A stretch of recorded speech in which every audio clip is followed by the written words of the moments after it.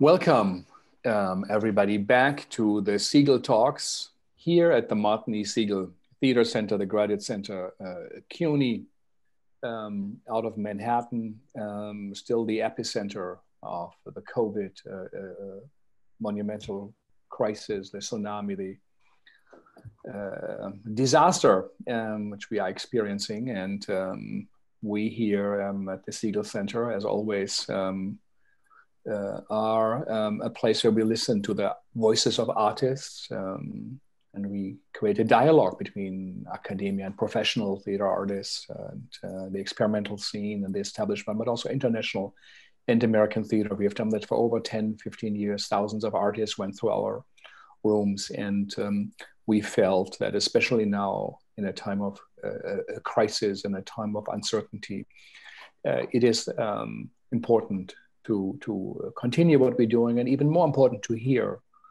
from artists, as we said uh, in all our other emissions too. Um, they are on the right side of justice, on the right side of history, on the right side of progress throughout, throughout centuries. And one wishes uh, people in positions of power would listen carefully and closely to what artists say, what they experience, the meaning they create, and what they try to teach us, what they often foresee in their work, what they, as Rancière would say, they anticipate the future, they have that gift and um, try to put it into a form to make us uh, more comfortable with it, to reflect and to also understand that perhaps we live not even in the present, but mostly in the past, and we should be alive, we should be in the moment.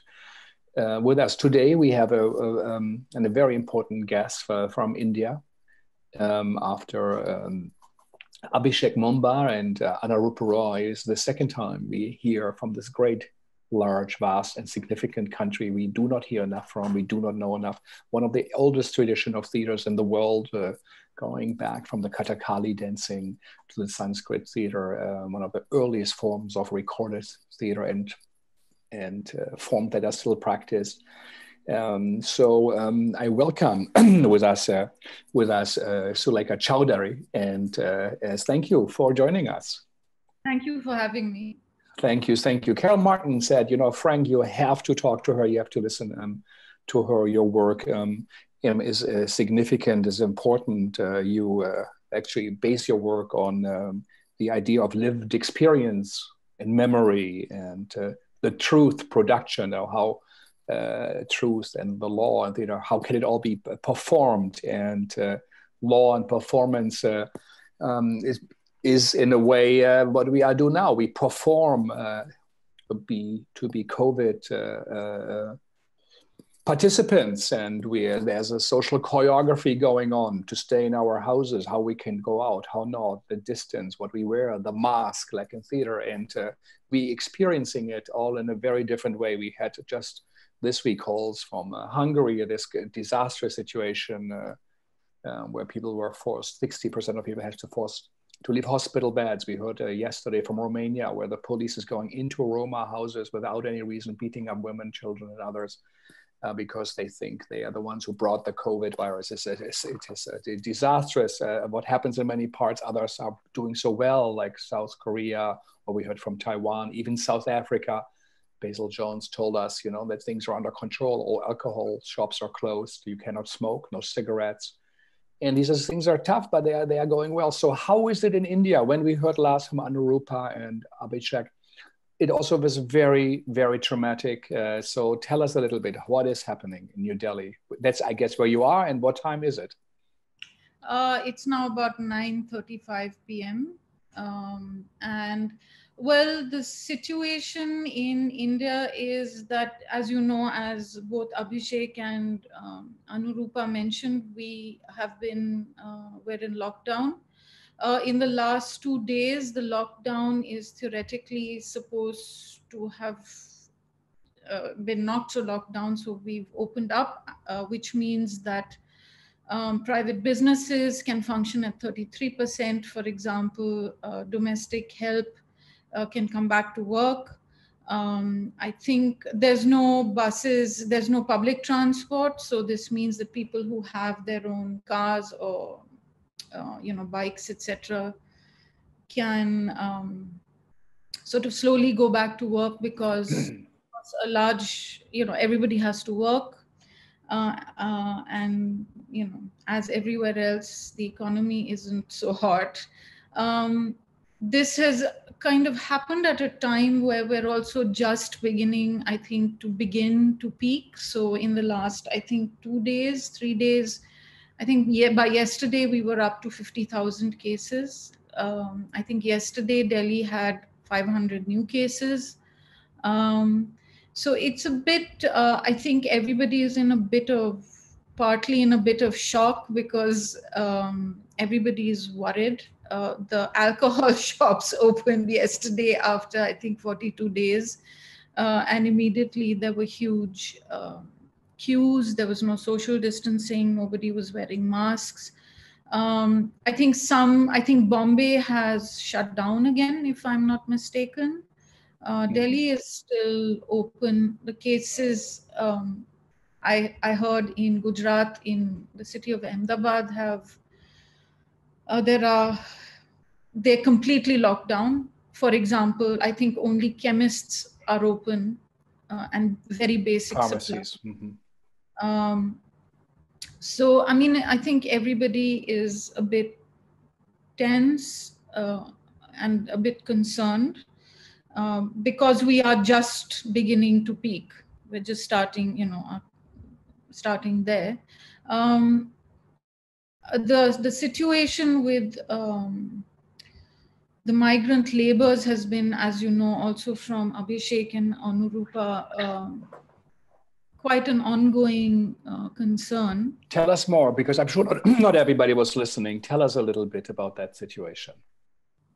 Well, when the lockdown happened. How long was uh, that ago? Uh, how many weeks have you been in lockdown? Uh, I think we went into lockdown on the 25th of March, if I'm around there, about the 25th of March. And the lockdown happened actually in for us. So we were given four hours to prepare ourselves. Four hours. Yes, we were given Incredible. four hours uh, to prepare ourselves. Um, which meant that work suddenly stopped, of course. And so, you know, all the big metros uh, and, of course, other parts of the country have labor from elsewhere. Uh, and uh, since the work stopped, they were, you know, a lot of people just had nowhere to go. Um, everybody also wants to go back home. Uh, and so, you know, in time when they ran out of food and they ran out of money, uh, there was a rather biblical long march home that um, the labor was trying to do. Is that true that about 500,000 people tried yeah. to get back on their yeah. feet? Some prepared to march a thousand kilometers without food with children on their back? Yes, it, it was really quite, um, I mean, it was sort of a bit uh, impossible to imagine did you uh, see that with your own eyes? You saw that? Um, no, uh, no, there's there's nothing uh, in in the colony that I live, but you know it's a colony, so we wouldn't, and I'm inside, so I wouldn't see it. I think Anurupa stays.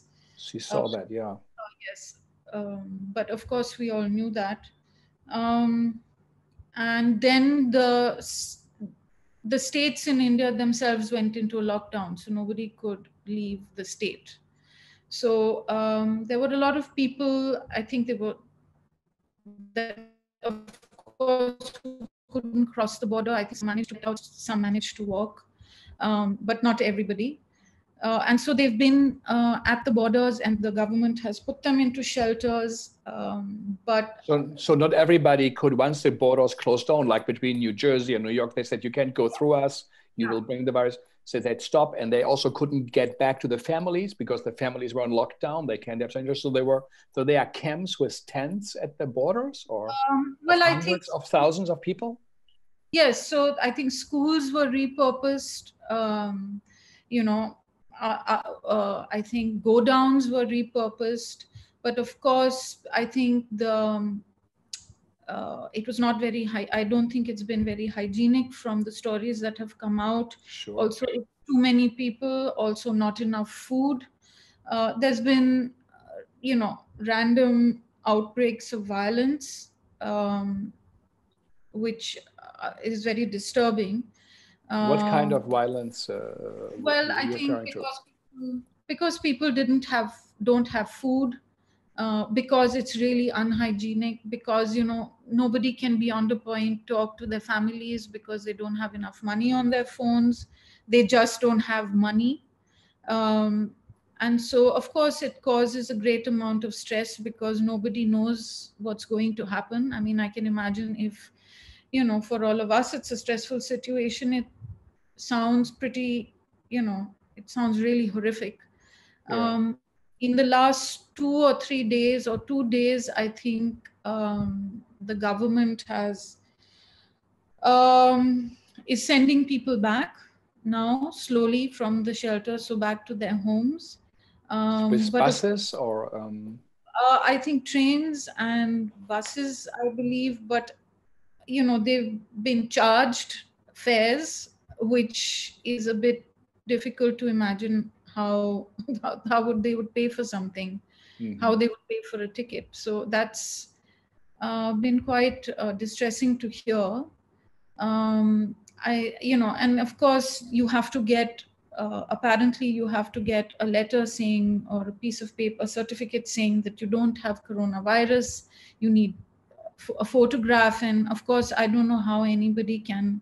Not everybody can. Yes, do this. So of course, there's a. And are there tests available? I mean, it's un- like people stuck in tents, uh, two hundred or three hundred thousand. Of course, it it is a condition for yeah. virus to spread. So and uh, so it's well, all like, absurd yeah so i mean like with other countries i mean i think we're severely under testing and then there's severe under reporting so it's very difficult to really get a sense of correct numbers um, delhi has had several containment areas. So if they if they found a you know a street or a neighborhood that has one or two people then they've sealed off the neighborhood. So it means that you can't exit.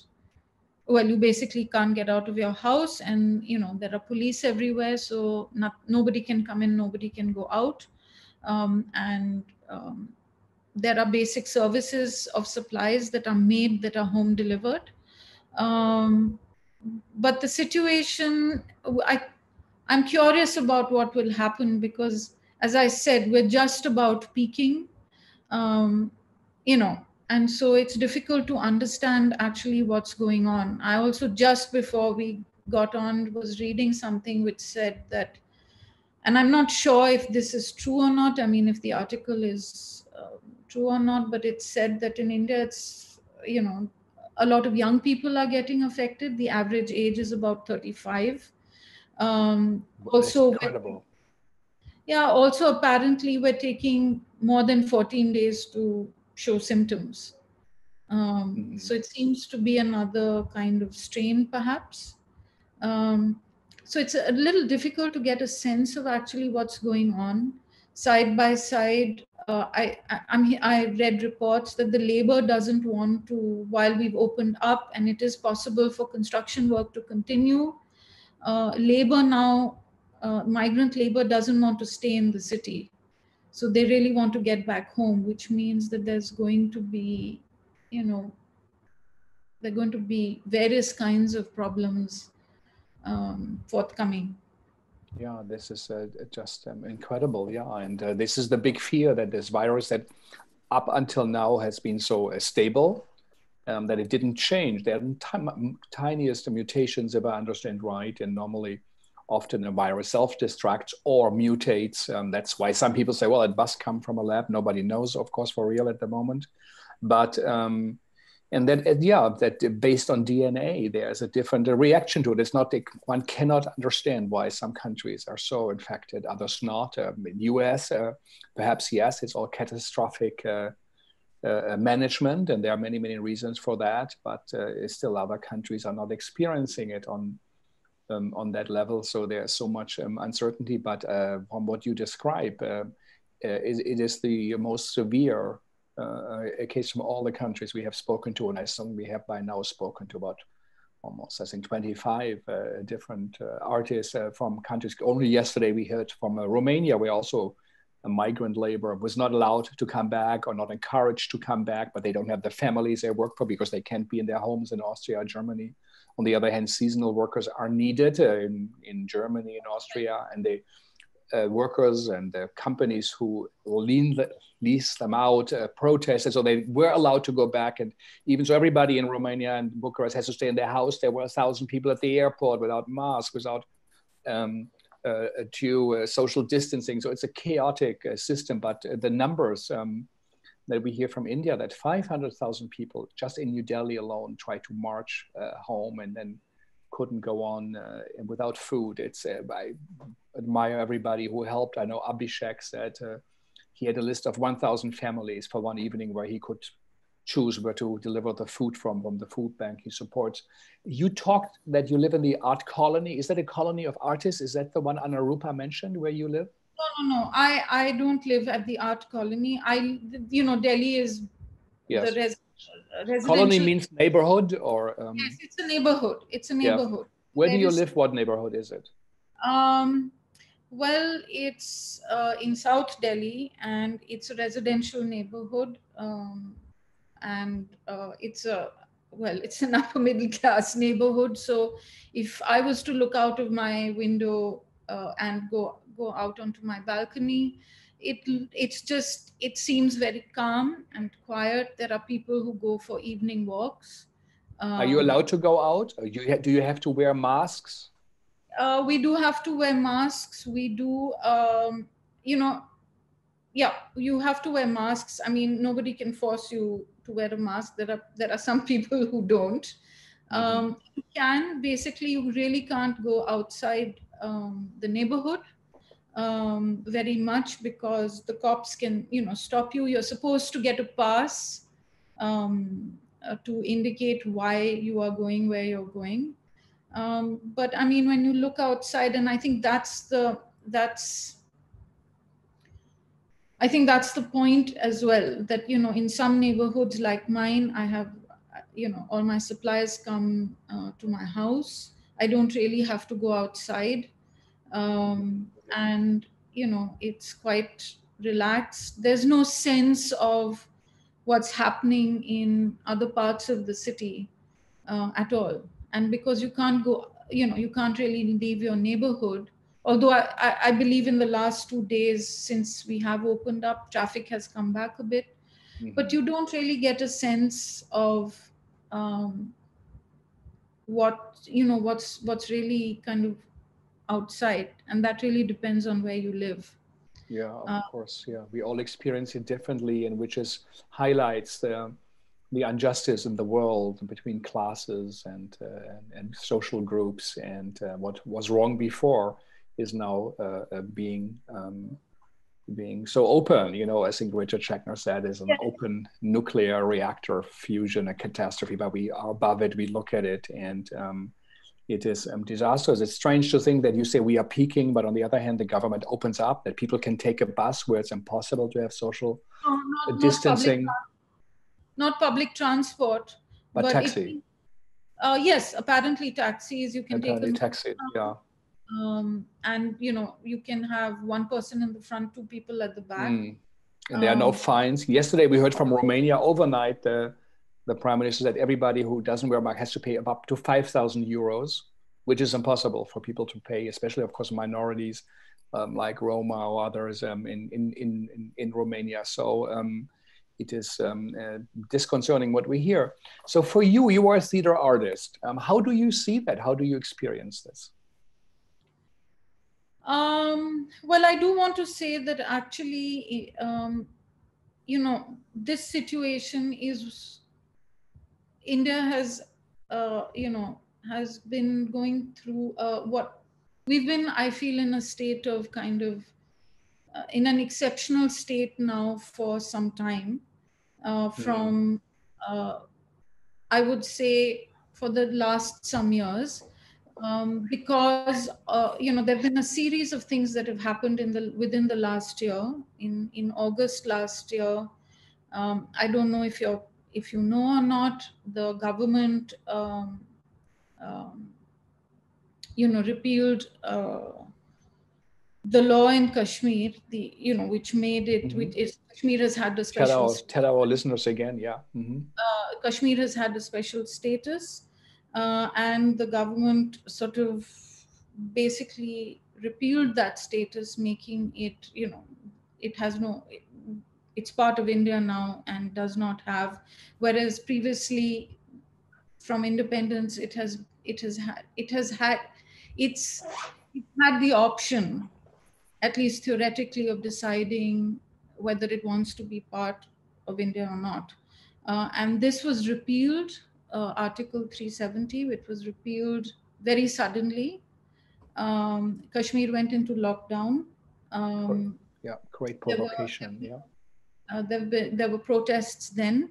Even cell phones were shut down. People could not uh, use no it. Internet was shut down all of a sudden it's of course the muslim minority you know was was uh, suffering and it's a clearly nationalist policy right uh, yes and then we've had which i think anurupa spoke about we had the anti-caa and anti-nrc protests uh, starting against the government yeah mm. um, yes so i mean the citizenship amendment act uh, basically says that minorities from Pakistan, Bangladesh, and Afghanistan who so who are Sikhs, who are Christians, who are Parsis, who are Jains, and who are Hindus um, get can get uh, citizenship in India, but not Muslims. This in uh, this in tandem with the National Register of Citizens, Citizen National Reg Register of Citizens. Um, it, the combination of that has worried people that um, um, minorities um, can be made illegal immigrants. So basically, people who lived there for generations, right? Yes, uh, people who lived in India for generations. So basically, have no passport, cannot prove.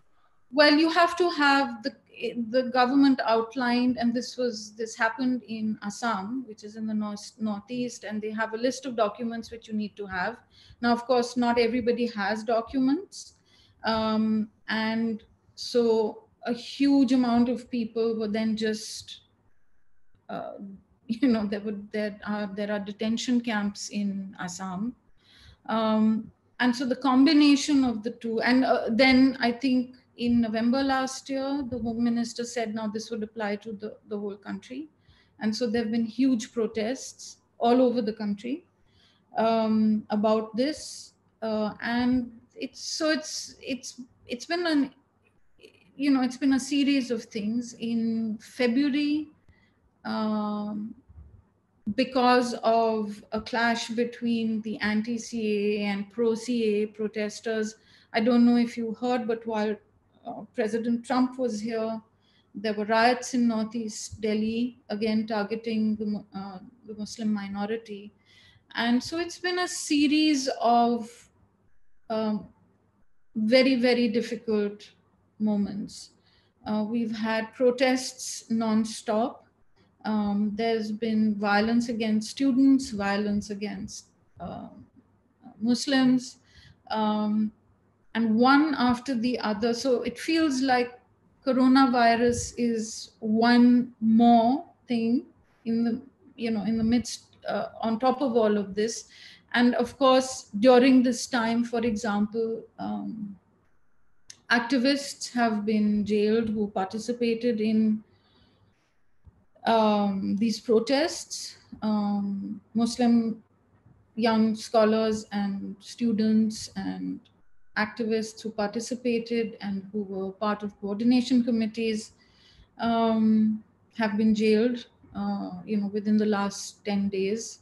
And so it's one, actually been one thing after another. And it's been in some ways, uh, I, I feel a really important time uh, the the protests happening were very very powerful. They were most. I, I don't know if you heard of Shaheen Bagh and other um, protest sites where, for the first time, Muslim women came out. The, mm-hmm. the majority of the protesters were Muslim women, some mm-hmm. very old, uh, others students. Um, these were, uh, you know, and uh, it it's it it was very powerful. Yeah. It also very, um, in a way, uh, I don't want to use the word exhausting, but everybody was really going to multiple protests in a day because it was, you know, it's been important to show up for solidarity and just be there because bodies matter and this presence matters.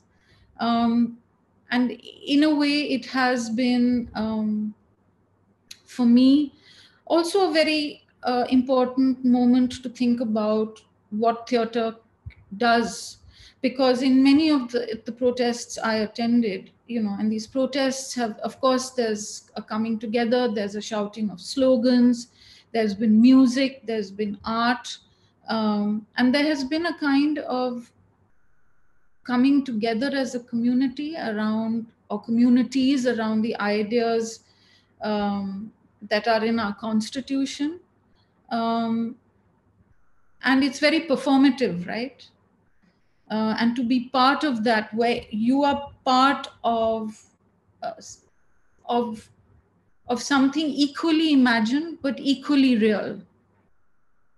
And you mm-hmm. participate in that. For me it's really been a moment i really did at that point which was through december january february really have to um, i've really been thinking about this question of in a situation like this that is so powerful and works with similar ideas of if you can imagine it and if you can perform it if it becomes you know in that way it becomes real then it has possibilities. And that played out you know in in in forums like this. I, i've really thought about what does it then mean to make theater um, um, i also went uh, there was a tribe a people's tribunal um, which was about the uh, the police action in one of the states, Uttar Pradesh, where there was immense police brutality, and it was really interesting because I was there with a whole bunch of activists, and um, you know, it was a proper people's tribunal, and it was again very very moving and very very powerful up until the point where you know uh, one of the judges said, and because it was situated very close to the Supreme Court, said, I wonder what this means to the Supreme Court. Whatever, you know, whatever we say today, will it make any difference? And so I feel that um, it's, it, you know, A, it's a moment to really think about what one does um, in terms of what is the material that one uses, what is the form one takes, and I think more importantly, who does one perform to? I feel this is a very important question, um, you know, and something very much that I am trying to uh, think through. Uh, so, I mean, this moment is, I feel a pause, it's not a stop. It's a pause in some way because one can't do um, many things. And you know the coronavirus brought a halt to the uh, all the protests uh, because of course nobody could go ahead. Um, but government action as i said has continued. So in a way it's not a pause. Um, it's interesting to see what is kind of unfolding and what will unfold. I mean, if one looks at the newspapers and you look at the reports and you see what is happening, what begins to unfold is uh, makes you understand slowly what happens in a state of emergency or a state of exception. And what I feel is in in India, uh, it, we're in a moment of transition you know and what happens in a moment of transition is i think very important because also important because the um, next project i'm working on is the trial of bahadur shah zafar who was the last mughal um, emperor of India. And the trial happened, his trial happened in 1858, just after the what is called the mutiny of 1857 or the revolt of 1857 or the first war of Indian independence, because this was a short trial. It's a very important trial because we came directly under the British Crown after this trial and as a result of the trial. But what happens during this time is that it's a year of um, it, it's a year of exception and it's a year of transition. And as I'm doing the research on the project, you begin to look at what happens to the judiciary, for example. One does some research into what happens with money during that time, who was funding what, um, you know. So it's quite interesting to think about this time and that time um, because it's about trying to fit pieces together. You know, when one reads different, um, if you read different news reports, like for example, now after Goa, uh, I'm sure you know Goa is one of uh, our states. Uh, you know, in 2018, the government had banned uh, mining there. Now, apparently, in the last week, uh, a big mining company is trying to get it restarted because you know everybody needs jobs and you know this will provide it. Then you hear that the supreme court didn't feel or didn't was asking why is it important to pay migrant labor stuck here wages since apparently the government was giving them food? Anyway then you um, you know read reports about that kind of hint at the fact that you know india is kind of preparing um, to give land to companies that might want to invest here who are based in china for example. So it's interesting to kind of slowly try and fit it all together because some narrative begins to become clear. Um, and so that's what I have actually uh, spent some time doing because I'm interested in this what happens during an exceptional time. Yeah. What happens yeah. during a time, you know, what happens to various institutions and what happens. I'm because I work, I'm interested in law and law as performance, of the performativity of law. I'm interested in also what happens with law and you know what fictions become reality at, in a moment like this and what is performed. And therefore made real. It's not it's not only um, you know it's not only artists who do it. It's not only artists who bring into being um, realities um, you know. Yeah. So um, the right does it all the time it does it all the time. So you said uh, earlier on, you said it's a time to think about what we do, why we do it, and for whom. Yes. share share a little bit. What are you thinking about? What are your what's what what are your reflections at the moment?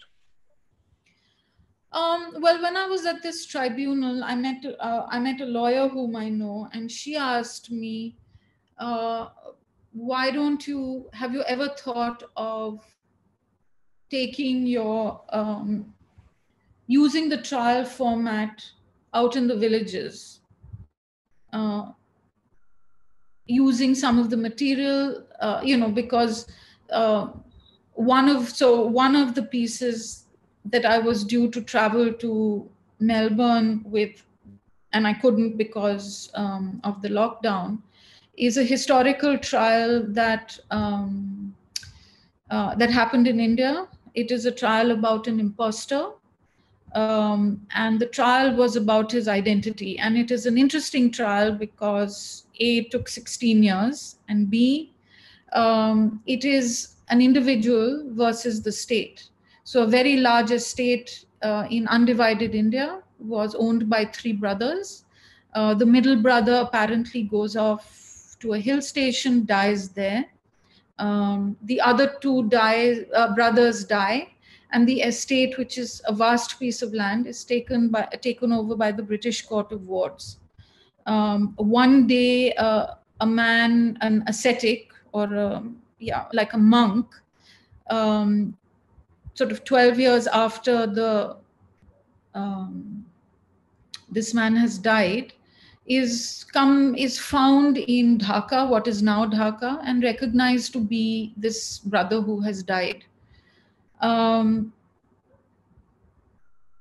basically, the the court of wards refuses to recognize him, and therefore he goes to court. So it's an individual going against the state to uh, say it's me. So it's basically about it's a case about identity. Um, the Melbourne project, the Melbourne version. Um, so this this project is uh, in the form of a. It's partly a reenactment, partly a retrial. Um, it has uh, this project has a judge, a lawyer, and myself. It's called rehearsing the witness, the Bhawal court case. One of the one of the things I'm interested in, which came from this material, was the actor as an imposter or the imposter as an actor. So it really hinges on the actor at one level, but it's also really looking at citizenship as performative. Mm-hmm. Um, you know. And also, as you said in your in your in your work, you try to perform the truth. I mean, trials have been. Uh, a legacy in in in in, uh, in, in, theater and uh, uh yes. of of plays, and now Milo Rau, who did all the Moscow trials, the Congo trials, um, Heinrich von Kleist, you know, is great choral plays, and and so many Brecht, and of course, and others. So it is what is truth, and that the truth has different sides, and you look at it. Um, in a uh, in a way that perhaps represents uh, laws that are superior to justice that is at the moment and is not progressive justice. Antigone, who says, I will bury my brother, even so it's against the law, but you are breaking the law of mankind, of ethics and morals. And she, in a way, sacrifices her life um, um, for it. It's unfortunate that all the heroines have to will have to die at the end. Should be the opposite. But um, do you do you uh, feel at the moment because performing memory, you said, is in the center of your work? Do you feel that what happens now in this moment when you are in New Delhi is that something where um, a, a, performance uh, uh, tradition will come out, or a way to perform this, There will be something new. Will be, it will connect people because everybody shared that experience. Is there something what you detect in the Indian theater scene, New Delhi theater scene, where you feel this will be a changer, it will be a game changer? I I'm not sure. I think I think we're uh, I think I, I'm not sure because of course at one moment it's a it's it's a time to think and reflect and to see. Uh, at the other, on the other hand, of course, you know everybody needs to get back to work. It's not just about wanting to get back to work. People also do need to get back to work. Um, you know, so it's it's it's too difficult to tell at the moment actually what this moment with, will mean and as i said earlier this moment is one moment coming on top of a lot of moments yeah. in in delhi uh, and in india at this time it's been one thing after yeah. another it also and means that people in yeah people in kashmir who had the lockdown imposed by indian police now have another lockdown imposed by the same police. You know, it's a, a Guillermo Calderon from Chile who said, you know, we were out in the streets uh, protesting in December. The police was shooting into the eyes of protests, about 400 shooting, some of them killed, but it was most probably in order. And he said, now the same police is pretending or trying to protect us. And he said, we can't go out, we can't protest. In Tunisia, also, like things are are on hold. So um, it is a, a confusing um, um, um, situation. And um, do, do you feel that um, theater will play or performance in India will play a role in kind of creating meaning sense out of it? Will people uh, look at theater to um, to um, try to cope with this situation? Well, as I said, I'm, I mean, the, the, the protest sites have actually emerged as, a, as, as also a very um, creative space. Um, and it's urgent. We're in an urgent moment now. You know, we're in one urgent moment after the next. And I think um,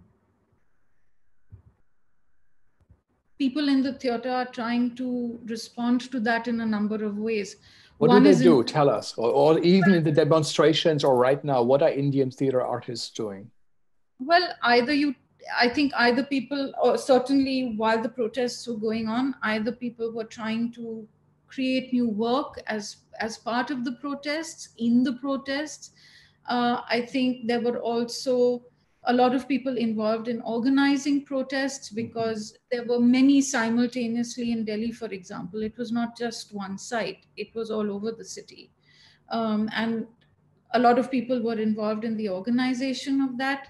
Um, there, subsequently, when the violence in Delhi happened, I know that a lot of people were organized in relief efforts. So, you know, organizing food and um, medical attention to people.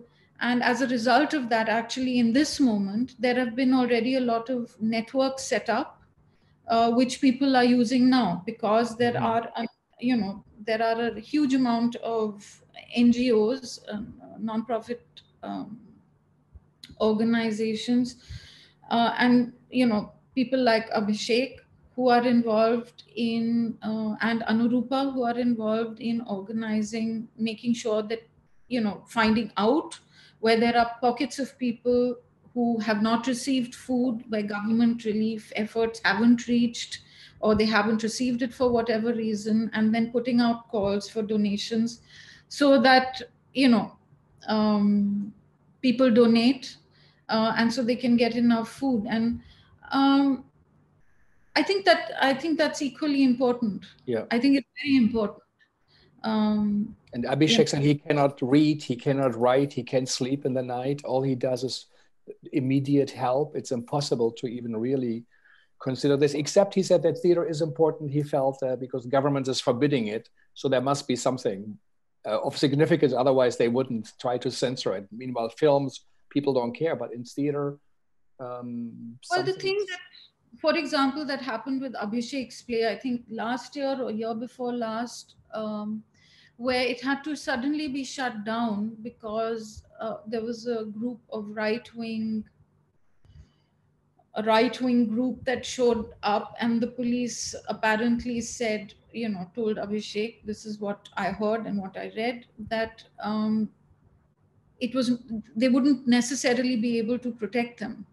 Um, I think what is more concerning rather than looking just at you know whether the government prohibits things or not the state is that the situation is that it's suddenly a situation where any right wing group can come and threaten your performance and somehow there is no one to protect you.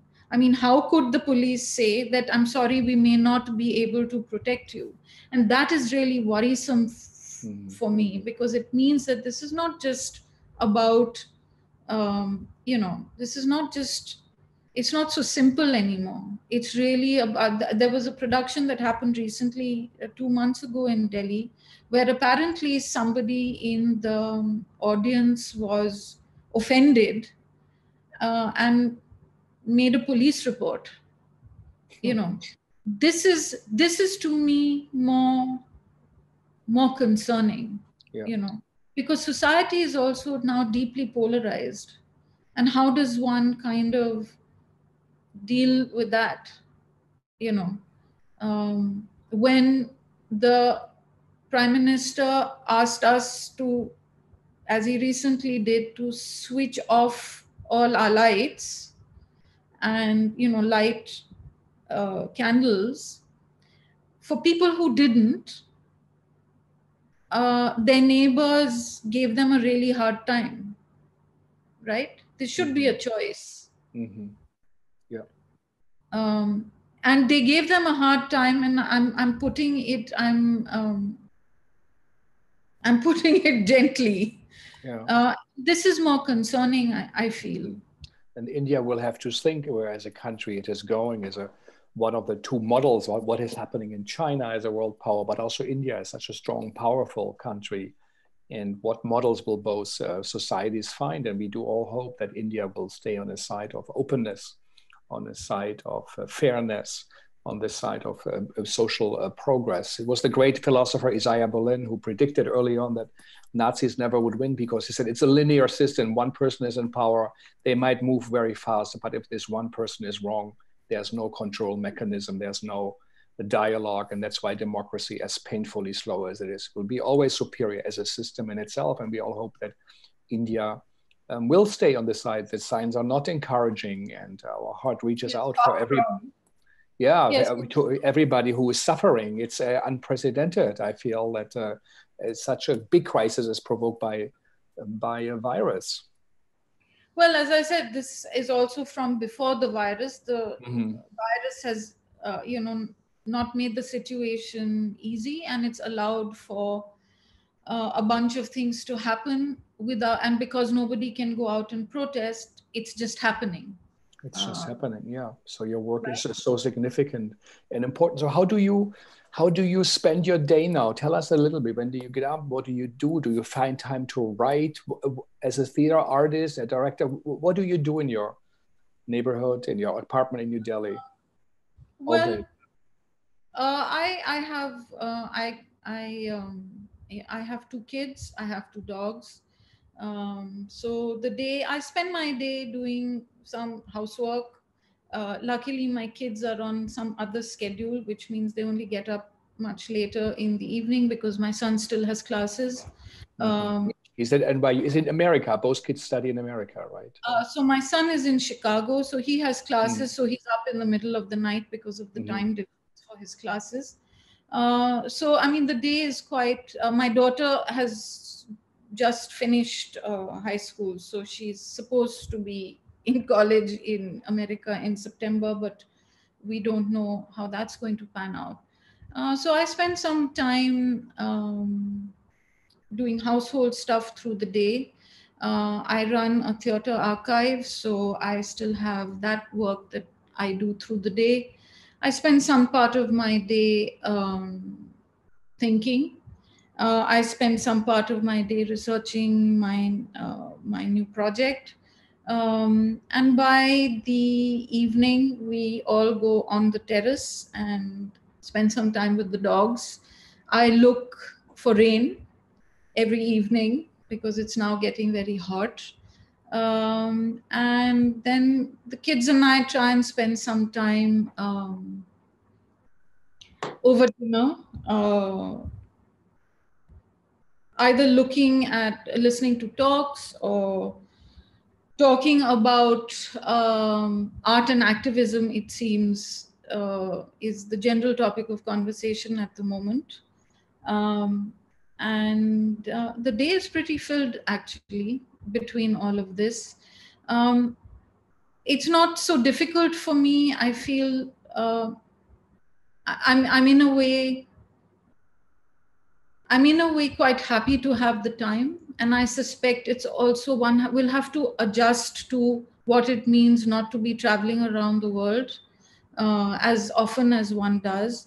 I think what does it mean when one says, you know, there's a lot of, oh, the world must change and it all should change.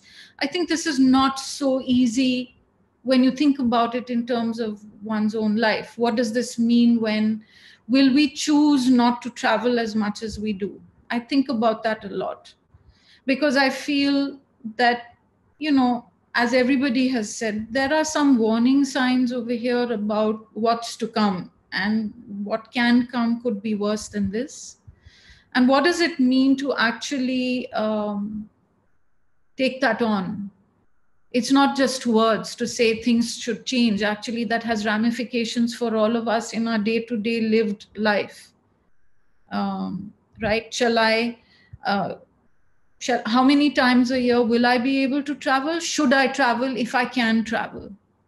Um, what does it mean in terms of uh, you know how i how i live my life and how i am with people i work with and for people who work for me what does this mean in terms of my interaction with them? Um, i think it's not going to be that easy and i and i personally am not sure that there's going to be a big change because while while everybody says they want it everybody's also trying to get back to a normal right? Um, so i mean i, I think it's um, I, for me it's a curious time because i don't know what's to come. I don't know if it will get worse if it will be better um, if it will stay the same. It's too uh, if it it feels too uh, soon to tell. And it feels like this could easily be just a small couple of months that we'll remember that we all had to sit down at home and we could you know and we weren't allowed to go out um, so I, i'm not sure i feel it's quite a difficult moment to assess I feel it's important to be able to do what one can do. So, yes, if one can donate, one should. Uh, if one can look at what is to be done for um, the ecosystem of theater, because it's a varied ecosystem. There are uh, artists who work with traditional forms who, you know, should be making uh, engagements uh, and because they have to go out and perform so that they have money for the rest of the year they're not they're not being able to do that.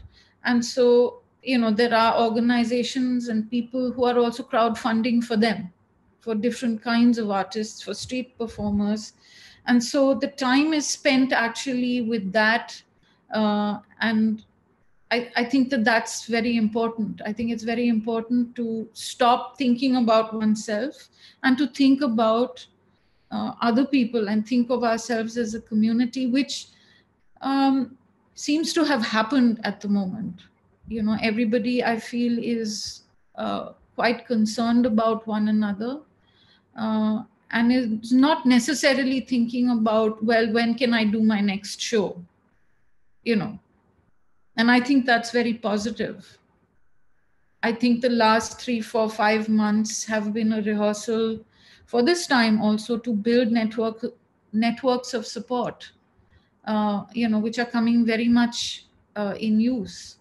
Um, so I think I think that's that's quite critical and important. I think in terms of my own work, having to think about this present moment and how one, since I do work with historical material, how does how does his what does historical material what can it reveal about this present moment that we're in uh, about you know states of exception, questions of identity, um, and actually quite a lot of issues that you know are at stake in India at the moment. Um, that's important to me. The form that it takes. Uh, as I said, I've been working with the trial formats. You asked a little uh, earlier what that what I meant when I said where do I show the work so far i've shown the work in you know um, mostly uh, in sort of a visual arts context so in a biennale or a situation like that um, and these uh, and i'm asking myself whether these are the only places i can show my work or should show my work. Uh, because after all what is one what is the work about? The work is about unfolding or questioning actually what art does in in one way. My series landscape as evidence artist as witness puts the artist as a witness and their art is evidence so the question is if art claims uh, and which i believe it can also do whether it's you know if we're saying that art asks an old question in a new way or um, puts forward a new claim, um, what happens when you put that material in a place like a court? Um, can it do that? Uh, does it do that? Because I've, I mean, I, I do believe that um, what art generally can if if i was to kind of be very general about it is that it yes it can re-articulate something it can reveal something and that's very important if one has to find new perspectives find other ways to look at you know something that seems to not be shifting out of its status quo but I also feel that this has to be put to a test. And that's partly what my projects do. Uh, the, the, the project is self reflexive, it's also a question to myself and what I do. Um, on the other hand, the historical projects, trials, as I said, is a way to, to look back into history a bit to see, uh, to try and see if one can trace where, where we are right now the question of identity is very important at this point in time. Who the government, the government is asking people at this time with, uh, you know, the CAA and NRC to basically take the onus on oneself to prove that one is the citizen. Mm-hmm. You know, there is a, we have a lived experience of, you know, there are people who are born here, who've spent generations here to be asked now to prove you are who you are uh, you know, uh, it's something to be considered. It's something to be thought through. And of course, then as the protests, they challenge it because the protests uh, earlier in the year, basically, people were saying, I will not show my identity papers. I won't do it. Uh, you know, which is an exceptional and unusual thing to say. But I think it's important to think about who one speaks to. Speaking to you know, am I speaking to uh, yeah, visual art spaces are elite spaces anyway, right? Uh, am I preaching to uh, the converted? Um, you know, am I wanting who who am I wanting to do what? I think that's a very very important question at this point of time. In as much maybe questions of form and aesthetics. Um, uh, in as much as it might be conceptual or mm, you know theoretical i think where if one chooses to do this kind of work one can't put push it to only a singular point one has to then see uh, and if it's a question of reality and if it's a question of you're trying to you know you're trying to do what in any case i'm beginning to feel as i said earlier the right does exceptionally well now which is bring make fiction into fact.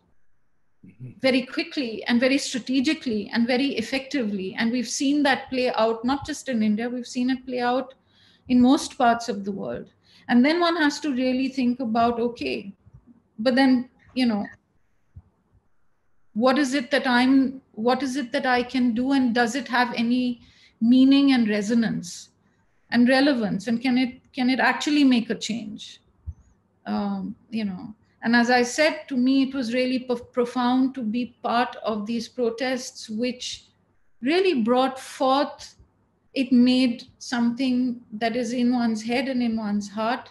It made it very real real enough for it all to be shut down pretty super fast and you know people hauled off uh, to jail so i mean it's a critical question for me I, am beginning to hear from other people and i think it's a critical question for a, a, lot of people in the arts thinking about what they do who they show it to um, and what does it mean to say we want a change or we want to work towards a change and that's not going to necessarily happen if we continue to show our work where we show it, if we do our work as we normally do it. I mean, at this time, it's quite clear that we can do quite a lot of work sitting at home. We can speak to people all across the world.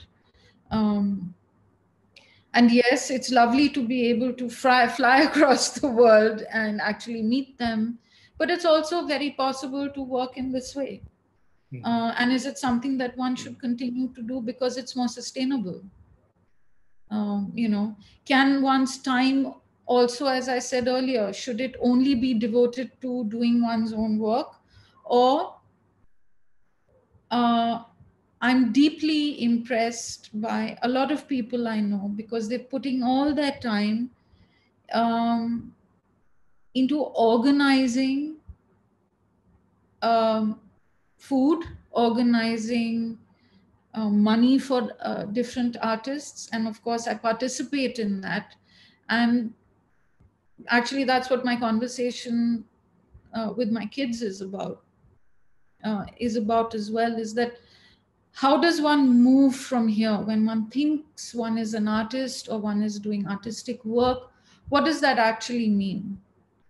Um, you know what what does it mean in terms of what one does? Is it only about going into rehearsal spaces and working there is it about really thinking about who you work with? And that um, you know the process of rehearsal and working is also um, equally important in terms of when you choose who you want to work with. And what that means for them what does that mean for you? Uh, and and and how does it reach out i think is because it's very easy to just get stuck in a theater and think this is it you know and make all the big changes um, on the stage and think that one has done everything I, I think that is important but I think it's also important to do more. At least that's what the last year has meant for me.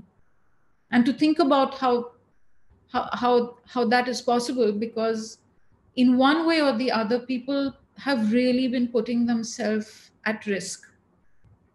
You know, whether it's um, somebody who chooses to go out and actually at this point, whether with a mask or not, uh, and with gloves or not, you're handing out food, you're out there in the open, you're meeting hundreds of people, that's a risk.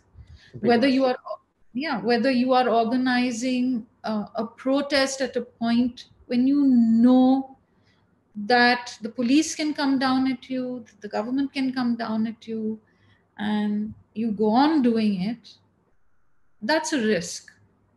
And so it's important, I feel, for my children at least, and that's who I'm talking to at the moment, to understand to understand that that's also a part of it. Yeah, yeah, yeah. I think we really um, are forced to to to to face these uh, existential questions we all know about.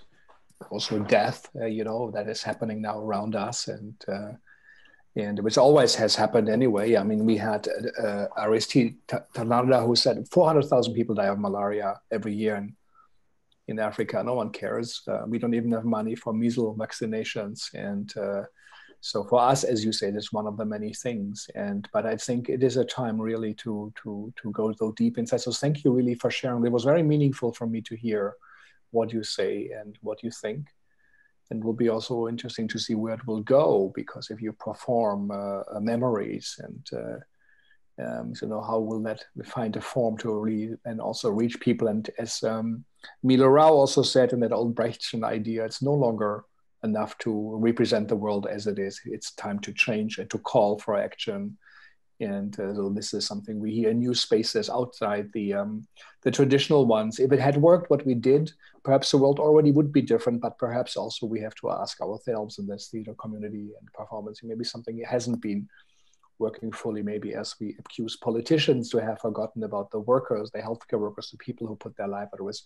Maybe we also have forgotten about them as potentially as not just being audience, but to, as humans who come to share our experiences, and we have to reach out and, and to them. So really, thank you so much, and I'm sure we will check in with you and India. Um, uh, what is happening there? It is so uh, so so dramatic also, and so um, so significant, and I hope it will find a way uh, to steer that big ship in the right direction and the voices of artists and your work and to tell truth. And this is what it is about in law, but as well as in in art and in science it is about the truth and there is a truth and something is truthful and this is a a compass we can we can follow. So thank you so much. Our next uh, program tomorrow will be with uh, Stacy Klein from the Double Edge Theater, farm uh, outside New York City where they do work for many decades. You know, in the, the tradition of a physical theater, perhaps connected to Eastern European um, um, a way very unusual. And then with her, Stephanie will have we will have with uh, Stacy Klein, we will have Stephanie Monseu, who runs the New York City Bindlestiff Family Circus, uh, also a, a, significant art form, a popular art form that has been perhaps overlooked. I think in France, uh, with the Cirque Nouveau movement, over 400 companies are doing fantastic and great work. I think it still has to develop and catch on. I think in the Americas, Canada uh, perhaps is doing um, a better job with, with TOHU and others, you know, but uh, these are also um, um, um, things. What, do, how, what does it mean for these communities in Corona time? How are they going to survive? What does it mean? And circus, of course, is about traveling, is about connecting, having many people, families coming in, and it's all not not possible. But um, again, um, really, truly, truly, Zuleikha, thank you so much for for taking the time and for sharing this. And um, well, where your work is so important, is significant. You act locally, but you think globally and you're a great representative of our community, the one we know also of the world of performance and theater. And uh, congratulations, and we admire all of you, Abhishek, Anurupa, and you. And uh, and I hope one day you will come uh, back to New York and um, and we can see, or I come for a visit. So thank you so much, and to our listeners, thank you for taking the time to listen. Um, you know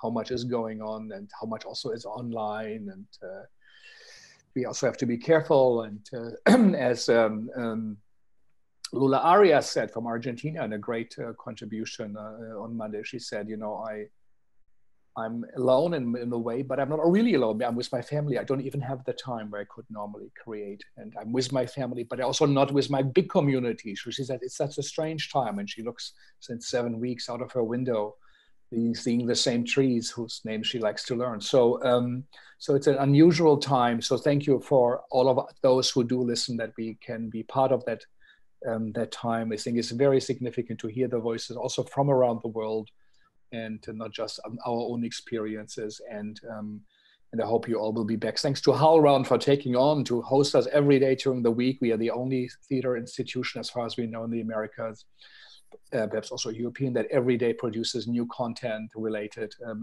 to this. So um, this is quite um, quite an exceptional time also for us. And thank you to the Segal team, Andy, Sun Young, and uh, Jackie. So thank you and uh, good luck and bye bye. Stay thank tuned. You.